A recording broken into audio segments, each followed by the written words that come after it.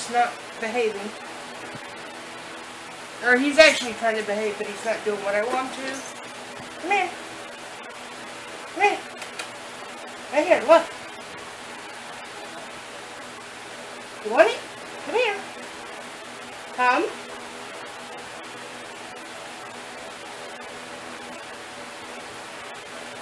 Go get it. Come here. Freaking out that he's going to make the camera fall.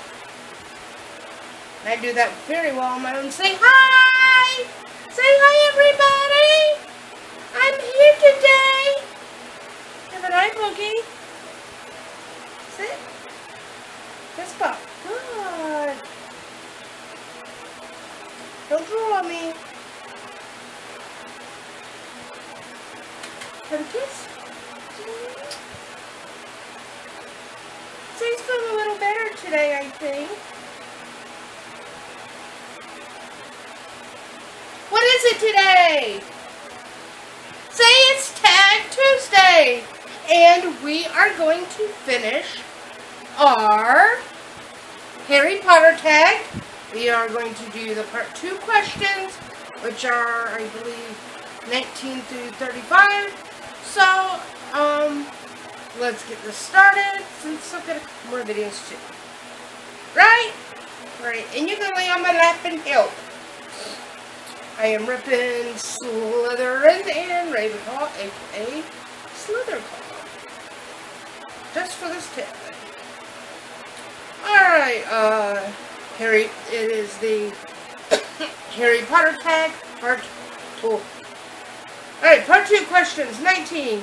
Your top thing, person or event, um, that wasn't in the movie that you wanted there the most. Right here. Um, one, well, there's a couple of things. I'm just really just going to mention one, um, and that was uh, Dumbledore's funeral. Um, that was in the book, and not in the film, and I think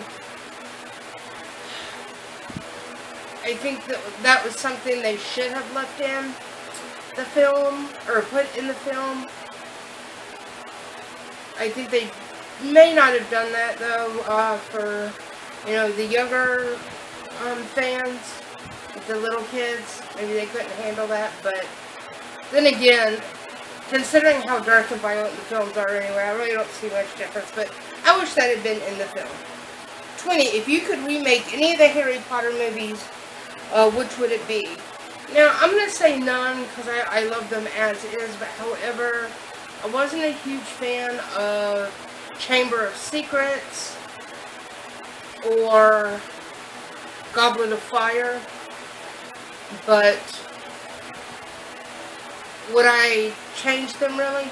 No, because they're they're here, they're part of my love, they're part of the, the fandom, the culture, surrounding Harry Potter, so I'd say no. Um, which house was your first gut feeling you'd be a part of? Um, well, in in reading the the books and, and whatnot, and getting a, a feel of the houses individually, um, I would say obviously Slytherin, um, not for the bad aspects, but the good aspects of what Slytherin stands for, um, as well as Ravenclaw, um,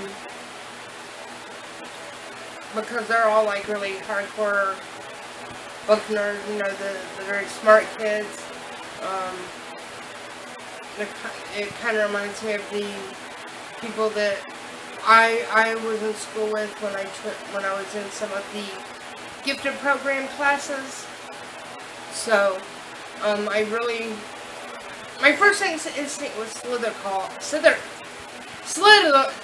Dang, I cannot talk today. Um, Slytherin, but I also feel that love for for Ravenclaw. Um, 22. Which house were you actually sorted into on Pottermore? Well, I've taken it several times because it's fun. But, um, 99% of the time it was Slytherin. But I also have ranked as Ravenclaw. And so I like to say I am a proud Slytherclaw. Uh, which class would be your favorite? Um, or favorite?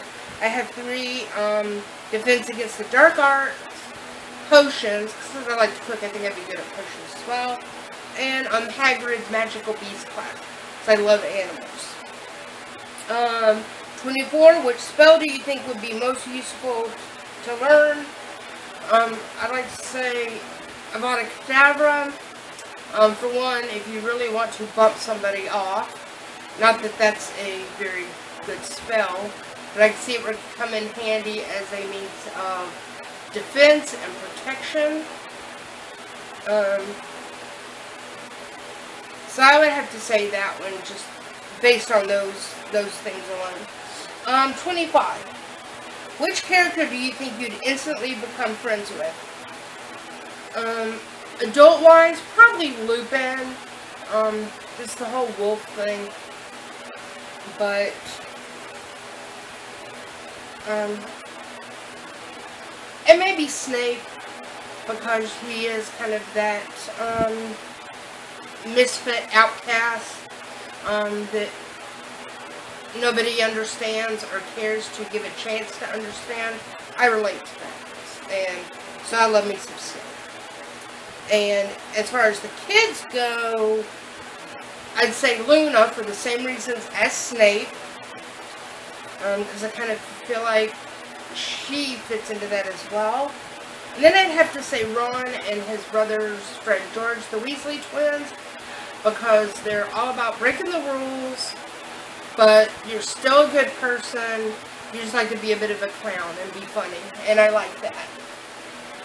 Um, 26. If you could have the Resurrection Stone, uh, Invisibility Cloak, or the Elder Wand, which would you choose? I'd like to think maybe the invisibility. Ugh, I just cannot talk today. Invisibility cloak. Um, because there's sometimes you just want to go places and do things and not have to be bothered. So, probably that. Plus, I'd probably rob a bank or go kick somebody's butt and no one would have to see me. Um, do is there any aspect, any aspect of the books you'd want to change? Same thing with the films. I like them as is. Um, so I wouldn't want to change them for anything. Um, I absolutely love them the way they are. Um, 28. Favorite Marauder. Well, I can think of two, Humble Bear. Say, Head Padfoot and Moony who you're named after, Blueberry? Yeah! So Sirius Black and Remus Lupin, of course, whom Padfoot is named after. Um, if you could bring back, or bring one character back to life, which would it be? Um, and I had to write this answer um, down, um, so I wouldn't forget it all. But I, I said I couldn't bring back just one. It's kind of one of those all or nothing things. I have my favorite characters, but it seems unfair to pick and choose what good people to bring back because all the people that that died in the Battle of Hogwarts and through other um, issues through the books were very good people. So I couldn't, as much as I want to say uh, Sirius and Remus and Snape, um, there's a lot of other excellent characters that were good people that didn't deserve to die, and I wish I could bring them all back, but you can't choose just one like that, so I, in all reality, I'd have to say none. Um, 30. Hallows or Horcruxes? Hallows, of course, because they seem, those seem to have a, not background, but but a better meaning than what Horcruxes stand for. Put it like that. Um, parts of the books and films that made you cry. Obviously, Dumbledore's death. Um, definitely Snape's death. And I think the one that just absolutely killed it for me was, um, and I get all weepy thinking about it, but when Bellatrix kills Sirius, you know, not only did she just kill him because she's a heartless witch, um, but that was family. She killed family. And I couldn't imagine hurting a family member. Got to hit that?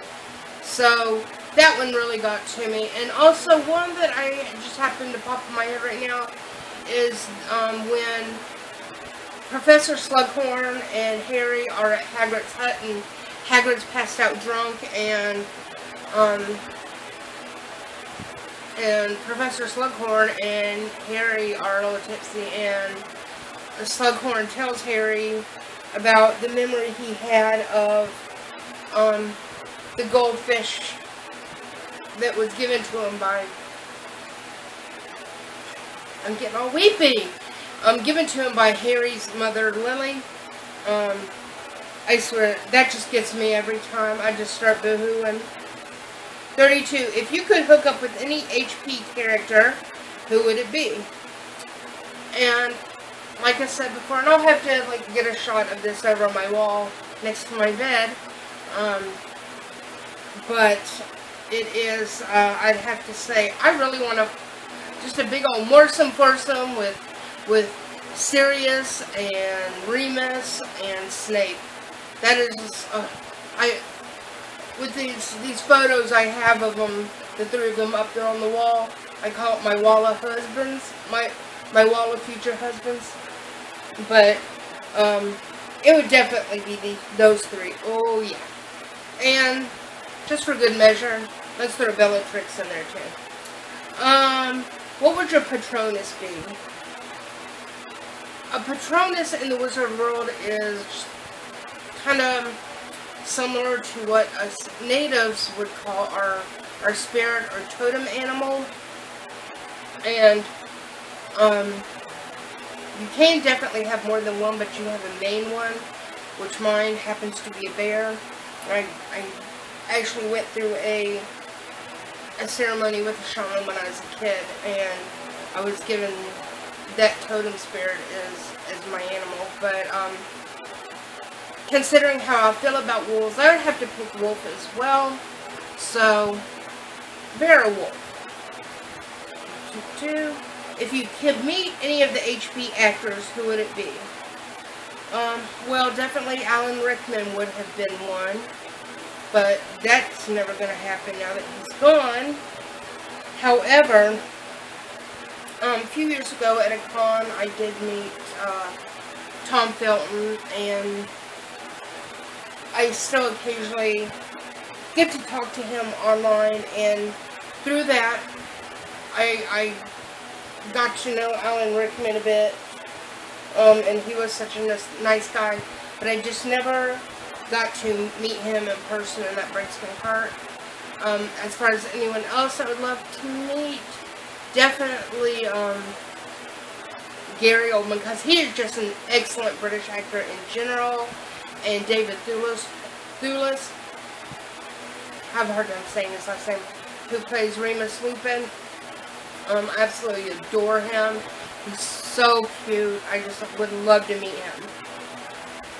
Um, but I'd love to meet any of them, actually. Anybody from the films. They're just the Harry Potter universe is like my world. Um, and 35, the last question. How much does um, Harry Potter mean to you? Um, I started reading the books before the first film came out. Um, I went to all but one of the films um, when they were at the cinema. The one I missed was Order of the Phoenix. That was around the time that my mom died in so I just wasn't in a good place at the time to see that one. But what got me through my mother's death and a lot of other struggles I was going through at the time with like with my health and um, trying to get my, my home back and just a lot of very bad things I was going through. Um, I was always watching the Harry Potter films because I, I had the first four on DVD. I had the books and um, reading them while going through all those things just it meant it really meant a lot to me and I can't say why. It just did and I, like I said before I have this connection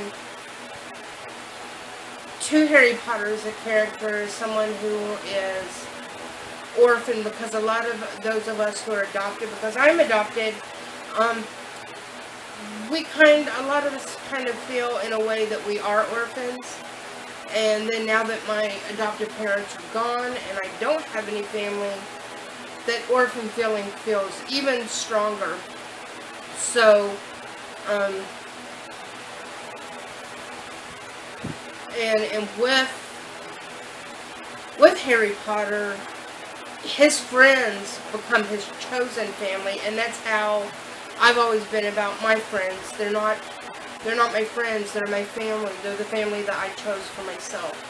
And seeing that in Harry Potter also just, makes me feel really, really good, and I love that. So, um, Harry Potter has definitely meant the world to me, these, especially in these last few years.